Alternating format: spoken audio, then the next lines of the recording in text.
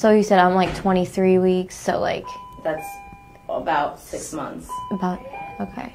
Yeah, so I mean, is it on- like is it like pretty big? Like, do you know how big it is? Like, It's six months. It's uh, it's fully like grown. it's fully grown. Yeah. Okay. So you mean it has like all the parts and stuff? You Yeah. think? Okay. Yeah. So how are they? How, how do they like remove it then? It's done by suction. It's a sucking tube that they just hold and it sucks it in, and then they put it in a in a solution and they send it out to the lab so uh-huh. they can measure everything to make sure that everything came out of you. Oh, okay. So it doesn't like come out because you said it's like kind of developed. It doesn't come out in, like one piece. No. Like. Okay. So how, I'm just trying to think. How does it? They start Oh, okay. falling apart.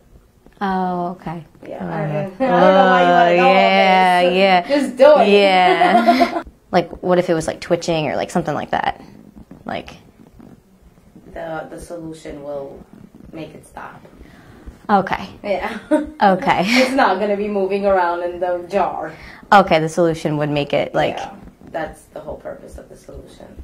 okay. So like, if it if it looked like it was like like breathing or something like that, It'll automatically stop. It won't be able to. it won't be a okay.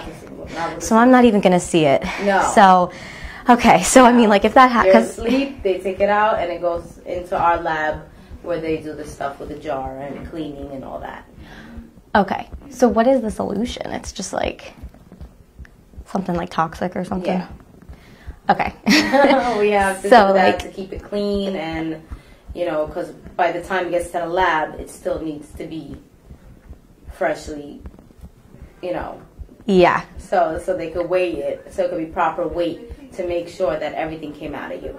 Like there's no pieces left in you. So like you'll make sure like I don't have to deal with it. No. It will die. Like you're done. You're done.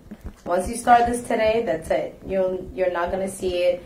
We're not gonna show you your sonogram pictures. We're not gonna, you know. yeah. All right. So I'm like if I feel like I'm having like labor pain kind of thing, Yeah. Call us. call you. Yeah, we have an emergency line. Like what if it like pops out like at home? Like If it comes out, yeah. then it comes out. Then Flush comes- it. Just like flush it. Yeah, but you still have to come in. 'cause We Okay. have to make sure that it, everything came out. But we never had a situation like that. Because if it's like, what if it's like on the floor? Like, you know what I'm saying? Yeah. Like, what would we do with it? be taking care of it. That's what I'm saying. No. like, you guys would come and like, if anything, you know, we'll tell you to put it in a bag or something or somewhere and bring it to us. And then we have two-day procedures all the time, you do. It's like pretty common. Like, Yeah. even with me, kind of stage. Yeah. Like at this stage, like every day. whatever happens at home, you know, like don't call the hospital. No, no, call us. Okay. Okay. Why? So why not call the we- hospital? Because Like, we started it first. Um, the hospital won't take you. They won't touch you either because we started it. So whoever starts it has to finish it. they would force me to have it? They might, or they might just tell you to push it out. Really? Yeah, like Kings County tells patients to push out the pregnancy. When it's not? When it's alive? hmm When you're this far along, they Yeah. tell them push it out. Even if it's like, even and then it comes out alive. Yeah. And then I don't know what they do with it.